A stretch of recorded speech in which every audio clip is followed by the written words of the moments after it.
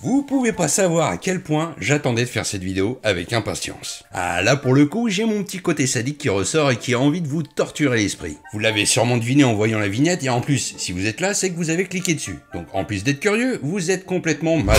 Car aujourd'hui, nous allons explorer ensemble ces peurs irrationnelles qui nous font frémir, qui nous font courir plus vite qu'Usain Bolt lorsqu'on est confronté à elles. Je vous parle bien sûr des phobies.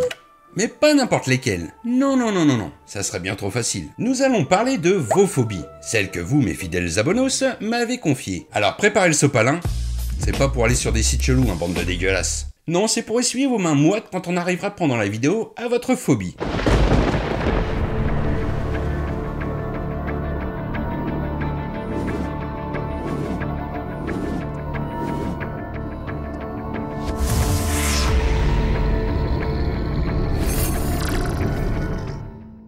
Plus normal que d'avoir peur Nous avons tous peur de quelque chose, que ce soit le noir, les hauteurs, votre femme quand vous venez de faire une connerie, ou même le terrible monstre qui se cache sous notre lit.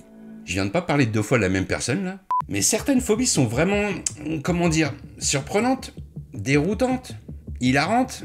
Non, non, non, attendez, je sais. Voici le 10 des pires phobies que vous, qui regardez cette vidéo, avez partagé avec moi. Allez, let's go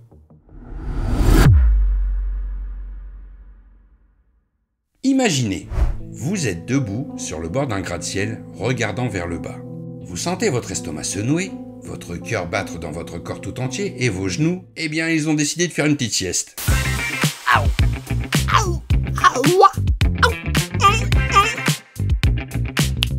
Mes amis, bienvenue dans le monde déstabilisant de l'acrophobie, la peur du vide.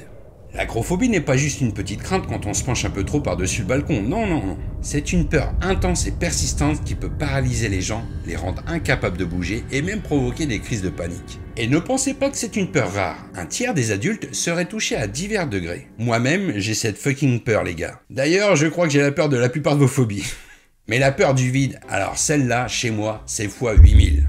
C'est simple, l'autre fois j'ai voulu la vaincre en faisant de l'acrobranche. 1-1, bad idea to never on a dû venir me chercher et me descendre en rappel. Eh, je suis pas venu ici pour souffrir, ok? Alors, pourquoi avons-nous cette peur? Les scientifiques pensent que c'est une peur ancestrale, liée à notre instinct de survie. Et oui, malgré la sortie de TikTok, on a toujours notre instinct de survie qui sommeille en nous. Slay, huh? Mmm, ice cream so good. Mmm, ice cream so good. Yes, yes, yes, yes, yes, yes. Ooh. Après, pour combien de temps encore ça? Je parierai pas pour des décennies, mais bref. L'acrophobie serait donc une peur à l'ancienne que nos ancêtres nous auraient transmis afin de se protéger en nous poussant à agir ou à fuir face à un danger. Mais perso, moi, je n'agis pas et je fuis pas non plus. Non, je reste tétanisé comme un con jusqu'à ce qu'on règle mon problème. En tout cas, merci les anciens, c'est top de nous avoir transmis l'acrophobie, vraiment.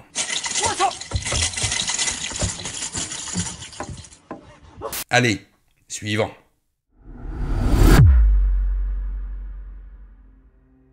Alors que l'acrophobie fait craindre les espaces ouverts et infinis, la claustrophobie c'est tout l'inverse. Elle vous fait frémir devant les espaces clos et confinés. Vous voyez cet espace étroit? Vous ressentez l'oppression, l'impossibilité de bouger librement, cette sensation d'être emprisonné? Voilà ce que vivent les claustrophobes, mais multiplié par mille. Ceux qui restent enfermés dans les chiottes pendant des heures, ça doit être un enfer pour vous. La claustrophobie peut se manifester de nombreuses façons. Des ascenseurs bondés, des pièces sans fenêtres, des grottes et même des vêtements trop serrés. T'as grossi, tu mets tes vêtements, t'es claustro, tu pètes un boulard. Mais voilà, mais c'était sûr en fait C'était sûr Cette peur peut être si intense qu'elle provoque des crises de panique, des difficultés à respirer, des vertiges, des sueurs, bref, rien de très agréable. Et d'où vient cette phobie?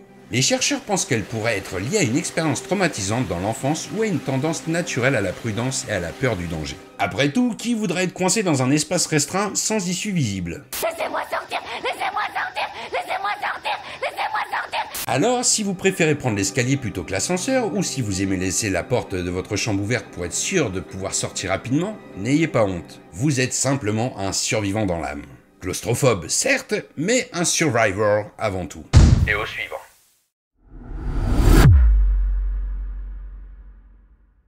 Maintenant, imaginez que vous approchez d'un pont.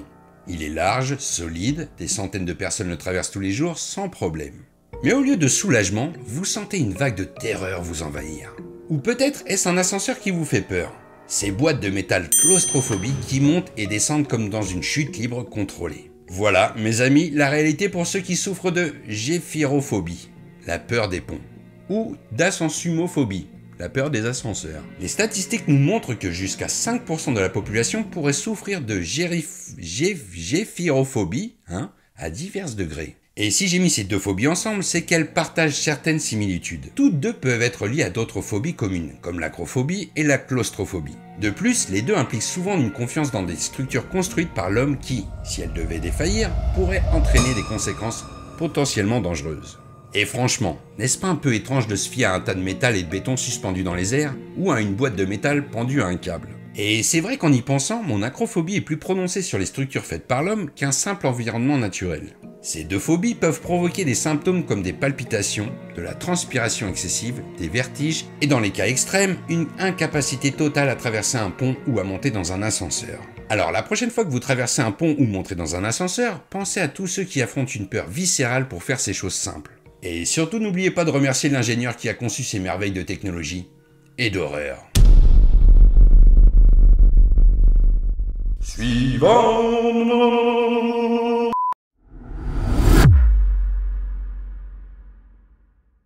Vous entendez ce doux bourdonnement à l'oreille? L'éclat doré d'un petit insecte au travail? Le symbole même de l'été? La chaleur, les vacances? Agréable, non? Oui, mais pour certains, ça l'est moins. Ça serait plutôt le début d'une attaque aérienne.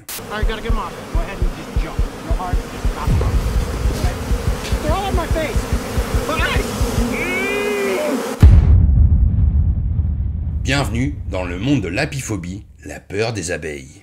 Regardez-les, ces petites créatures ailées, butinant de fleur en fleur, engagées dans l'art délicat de la pollinisation. Charmante, non? Eh bah pas si vous êtes apiphobe.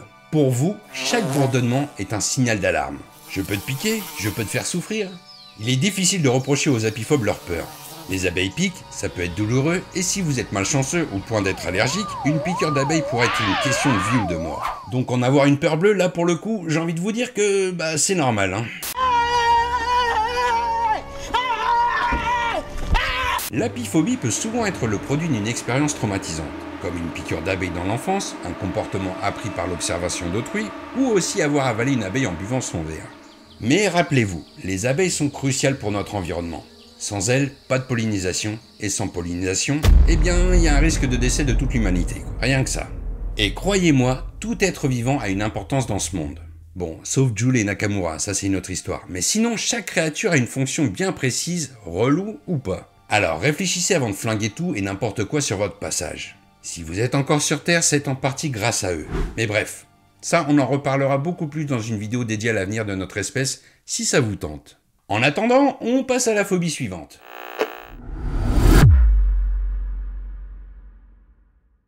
Pour notre cinquième phobie, d'abord on arrive à la moitié de cette vidéo. Et c'est le moment pour moi de vous demander de vous abonner si vous appréciez la chaîne, car vous êtes nombreux et nombreuses à regarder sans être abonnés. C'est pas bien. Vous voulez que j'appelle le croque-mitaine? Allez, c'est gratuit, ça ne vous coûte rien, ça aide énormément la chaîne et ça vous permettra de ne rien louper au prochain projet que je suis en train de vous préparer. Et en parlant de croque-mitaine, nous allons nous plonger dans le monde obscur qui se trouve sous nos lits. Oui, mes amis, nous parlons de l'endroit où résident les monstres de nos cauchemars nocturnes. Bienvenue dans le monde de la tératophobie, la peur des monstres. Certaines personnes voient des tas de vêtements sales, des chaussettes perdues ou des jouets oubliés. Pour un tératophobe, c'est le territoire d'une bête effrayante qui n'attend que de saisir un pied innocent. La tératophobie prend souvent racine dans l'enfance. Qui parmi nous n'a pas été persuadé qu'une créature monstrueuse nous observait depuis les profondeurs sombres sous notre lit? Les récits de monstres cachés sous le lit ou dans le placard sont communs à de nombreuses cultures, transformant ces espaces familiers en des lieux de terreur. Et bien que la plupart d'entre nous surmontent cette peur en grandissant, certains la portent avec eux à l'âge adulte. Pour eux, chaque coin d'ombre pourrait abriter une créature cauchemardesque. Et franchement, qui peut les blâmer? L'obscurité est un lieu d'inconnu, d'indéterminé. C'est un terrain fertile pour notre imagination, qui remplit les recoins sombres avec ce qui nous effraie le plus. Cela nous emmène à une anecdote intéressante. Saviez-vous que la tératophobie peut parfois être utilisée de manière créative? Prenez l'exemple de Stephen King, le célèbre maître de l'horreur. Il a utilisé sa peur des monstres pour écrire certains de ses romans les plus effrayants. Il n'est pas tératophobe, mais il sait certainement comment exploiter cette peur. Alors, la prochaine fois que vous entendrez un bruit inquiétant sous votre lit, pensez à nos amis tératophobes. Pour eux, le monstre sous le lit est bien réel. Et après tout, s'ils avaient vraiment raison et que ce n'était pas qu'un mauvais tour de notre imagination.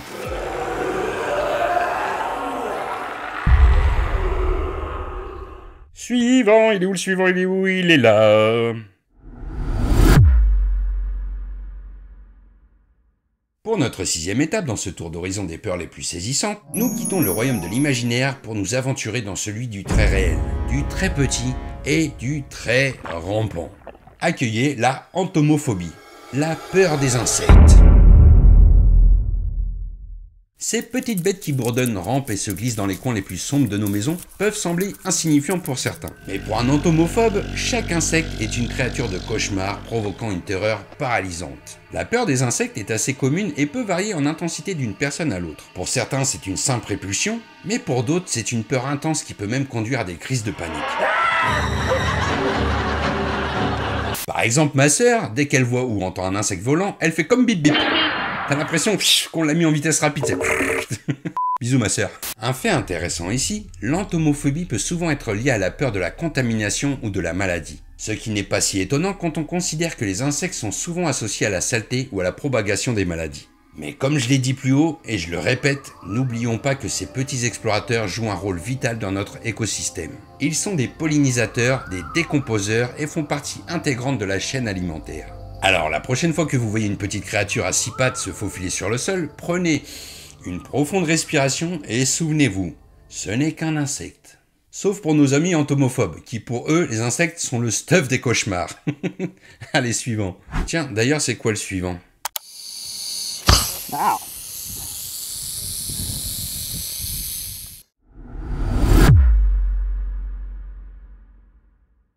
Maintenant que nous avons exploré le monde des insectes, nous restons dans le règne des rampants, mais nous passons à des bêtes un peu plus grandes. Pour notre septième partie sur vos phobies, nous avons une double peur.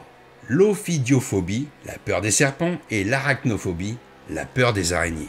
Alors comme les ponts et les ascenseurs, eux aussi je les ai groupés. Pourquoi? Tout simplement parce que la peur des serpents et des araignées sont souvent groupés ensemble dans les discussions sur les phobies car ce sont tous deux des créatures qui rampent et qui peuvent provoquer une peur intense chez certaines personnes. De plus, l'ophidiophobie et l'arachnophobie sont parmi les phobies les plus courantes dans le monde. De nombreuses personnes qui ont peur des serpents ont également peur des araignées, et vice-versa. Cette connexion peut être due à une aversion générale pour les choses qui rampent ou qui se déplacent d'une manière trop chelou pour nous. De plus, les serpents et les araignées sont tous deux souvent associés à la dangerosité en raison de la présence de certaines espèces venimeuses. Que ce soit le glissement sinistre d'un serpent ou le déplacement rapide et imprévisible d'une araignée, ces deux créatures peuvent envoyer des frissons dans le dos de nombreux d'entre nous. Pour certains, la simple image d'un serpent comme ça, ou d'une araignée comme ça, ou peut-être celle-là.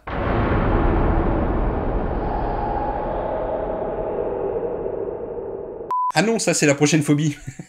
Je vous l'ai dit que j'allais vous torturer. C'est vous qui avez voulu rester, hein. Ta gueule Tu es moche Rien que ces images de serpents et d'araignées peuvent provoquer une peur intense, des palpitations cardiaques et une forte envie de fuir pour beaucoup d'entre vous. Pour les autres, cette peur peut se manifester par un dégoût intense et une répulsion envers ces créatures. Et même si la plupart des serpents et des araignées ne sont pas dangereux pour l'homme, la peur qu'ils inspirent est très réelle. On pense que cette peur est ancrée dans notre évolution, un reste de nos ancêtres qui devaient être vigilants pour éviter les prédateurs venimeux. En même temps, à leur époque, non seulement les bébêtes étaient dangereuses et venimeuses, mais en plus elles étaient beaucoup plus grandes qu'aujourd'hui. Donc normal qu'il fallait être vigilant. Tu ne te réveillais pas avec une petite piqûre, c'était plutôt une troisième fesse que t'avais. Si tu te réveillais en vie, bien sûr. Allez, glou glou glou glou glou, suivant, glou glou glou glou glou.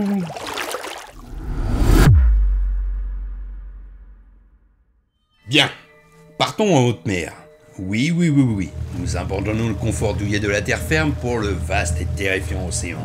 Nous plongeons dans la thalassophobie, la phobie des profondeurs. N'a jamais regardé les eaux profondes et sombres de l'océan et pensé Hmm, je me demande ce qui se passe là-dessous Pour ceux qui souffrent de thalassophobie, cette pensée est à peu près aussi séduisante que l'idée de passer une semaine de vacances dans des chiottes publiques. Oui, je fais deux fois allusion à des toilettes dans cette vidéo, et alors J'ai un humour de merde et c'est comme ça.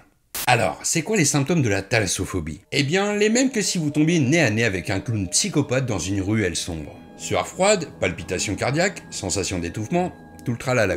Mais laissons les formalités médicales aux professionnels. Parlons plutôt de l'horreur sans nom qui attend au fond de l'océan.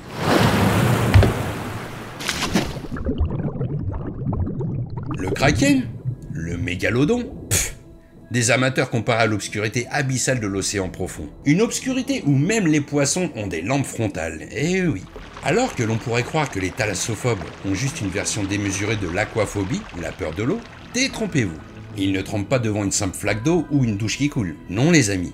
Leur frayeur est spécifiquement dédiée à l'océan avec tous ses mystères et ses dangers cachés. Et c'est compréhensible car jusqu'à présent, nous, en tant qu'espèce, avons exploré moins de 5% des fonds marins. C'est un peu comme dire que nous avons exploré l'équivalent de l'entrée de Disneyland dans l'immense parc qu'est l'océan. C'est une sacrée quantité d'inconnus. Et puisque personne ne peut vraiment nous dire avec certitude ce qui rôde dans les abysses, il n'est pas étonnant que certaines personnes regardent l'océan et voient un monde de monstres marins plutôt que de belles vagues.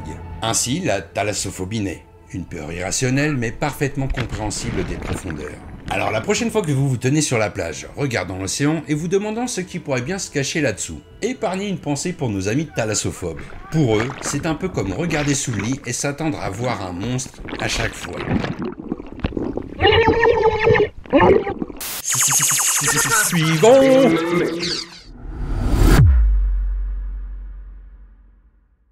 Encore un nom bien étrange. Alors, la coulrophobie. Qu'est-ce que c'est? C'est pas la peur d'être cool, hein. Oh non les amis. C'est tout simplement la peur des clowns. Les clowns, ces personnages joyeux et colorés qui sont censés nous faire rire, peuvent parfois faire l'effet inverse chez les coulrophobes. Leur visage peint de manière excessive, leur sourire figé et leur expression exagérée peuvent sembler plus effrayants qu'amusants pour certains. Et que dire des clowns de cirque qui apparaissent soudainement dans la foule avec leur farce et leur acrobatie pour un coulrophobe, cela peut être une expérience terrifiante, comme si le cauchemar d'un cirque maléfique devenait soudainement réalité. Mais d'où vient cette peur? Certains pensent que cela pourrait être lié à l'incapacité de lire correctement les émotions derrière le maquillage des clowns, ce qui crée un sentiment d'incertitude et d'inconfort. D'autres estiment que les clowns, avec leur apparence fantaisiste, sont une sorte de déguisement pour quelque chose de plus sinistre. Hollywood a joué bien sûr un rôle essentiel sur l'arrivée de cette phobie, avec pour exemple le clown du film Ça, inspiré d'un vrai clown tueur, John Wayne Gacy. Il y a aussi les clowns tueurs venus d'ailleurs, marrants pour certains, effrayants pour d'autres, le clown dans le film Poltergeist, et j'en passe. Salut Jean Quoi qu'il en soit, pour un coulrophobe, une simple sortie au cirque peut se transformer en un véritable tour de terreur.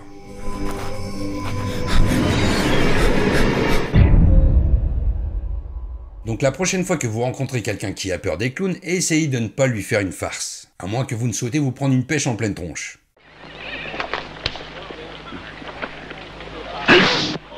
Ok, passons à la dernière phobie les amis. Celle-là va faire réagir beaucoup d'entre vous. Suivant.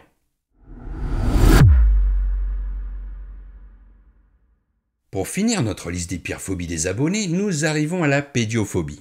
Ah, la pédiophobie. Vous pensez peut-être que c'est la peur des pieds? Mais non, mes amis, ça c'est la podophobie, et je vais vous épargner ce sujet. La pédiophobie, c'est la peur des poupées. Oui, vous avez bien entendu. Des poupées. Vous pensez peut-être, des poupées? Comment peut-on avoir peur de ces petites choses mignonnes et innocentes qui ont occupé une bonne partie de notre enfance? Et c'est là que je vous arrête. Car on oublie souvent une chose, les poupées de nos films d'horreur préférés. Prenons l'exemple d'Annabelle, cette poupée démoniaque qui a semé la terreur dans nos cœurs et nos esprits. Ou encore Chucky, le pantin possédé par l'esprit d'un tueur en série dont on a parlé dans la dernière vidéo d'ailleurs. Ces films ont montré au monde entier à quel point une simple poupée peut être terrifiante. Mais d'où nous vient cette peur? Eh bien les poupées ont cette caractéristique étrange. Elles ressemblent beaucoup à des humains, mais elles sont dénuées de vie. Ce décalage entre apparence et réalité peut créer un sentiment d'inconfort, voire de peur. Leur visage figé, leurs yeux vides qui semblent nous suivre, autant de détails qui peuvent nous donner la chair de poule. Un exemple, connaissez-vous le Pollux Toys Museum à Londres? Vous vous dites probablement « Oh, un musée de jouets, ça doit être amusant, coloré et joyeux !» Mais ce n'est pas tout à fait le cas. Imaginez, vous vous promenez tranquillement parmi d'anciens jouets et des poupées vintage. Certaines vous fixent avec des yeux clignotants, d'autres arborent fièrement des visages en porcelaine avec de véritables tignasses sur la tête, et vous vous retrouvez entouré de poupées victoriennes centenaires et d'autres plus rares au visage de cire. Tout ça, c'est très charmant, jusqu'à ce que vous atteigniez la dernière salle avant la sortie. D'après Ken Hoyt, un employé du musée depuis plusieurs années, cette salle est tout sauf une partie de plaisir pour certains visiteurs. Au lieu de la traverser, ils préfèrent faire demi-tour pour retrouver l'entrée. Et qui sont ces visiteurs terrifiés? Les enfants? Non, non, les adultes bien sûr. Apparemment notre courage diminue avec l'âge. Et devinez quoi? C'est encore pire en hiver. lorsque le soleil se couche tôt et que les salles du musée sont légèrement plus sombres. Ces adultes terrorisés donnent l'impression de sortir tout droit d'une maison hantée. Comme dit Ken en riant dans une interview, ce n'est pas une bonne façon de terminer sa visite au Pollock's Toy Museum. Alors, comment se fait-il que certaines personnes aient une peur bleue des poupées? Il pourrait y avoir plusieurs explications à cela, mais l'une des plus courantes est que notre cerveau a du mal à digérer l'idée d'un visage qui ressemble à un humain, mais qui ne l'est pas. Habituellement, notre cerveau est comme un expert en lecture de visage. Il scrute chaque expression, chaque mouvement des yeux à la recherche d'informations, d'émotions, voire de menaces potentielles. Mais avec les poupées, notre cerveau est un peu perdu. Il se dit Attends une minute, ça ressemble à une personne mais ça n'en est pas une. Alors comment dois-je réagir? Dois-je paniquer ou pas? C'est un peu comme lorsqu'on tombe sur une araignée en plastique. Notre cerveau ne sait pas tout de suite s'il doit envoyer le signal sauf qu'il peut ou pas. Et puis il faut avouer que la pop culture n'aide pas vraiment à dissiper cette peur. Les films d'horreur mettant en scène des poupées diaboliques comme Chucky ou Annabelle n'ont certainement pas contribué à améliorer l'image des poupées.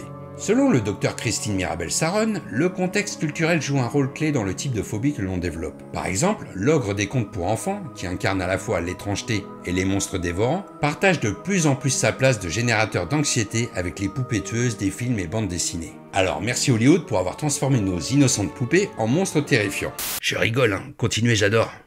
Les amis, c'est la fin de cette vidéo, j'espère qu'elle vous a plu et si vous êtes encore là, je tiens à vous féliciter d'être resté jusqu'au bout. Car soit vous avez peur de rien, soit vous avez réussi à affronter votre phobie, ou soit vous aimez vous faire du mal. Et là dans ce cas, vous êtes complètement sadomaso. En tout cas, bizarrement, j'ai aimé faire cette vidéo. Et je vous remercie d'avoir partagé avec moi vos phobies afin qu'on puisse en parler ensemble. Sincèrement, je ne pensais pas que vous aviez certaines des phobies énoncées dans la vidéo. Et d'ailleurs, si vous en avez d'autres à me faire découvrir, n'hésitez pas à en parler dans l'espace commentaire là, juste en dessous.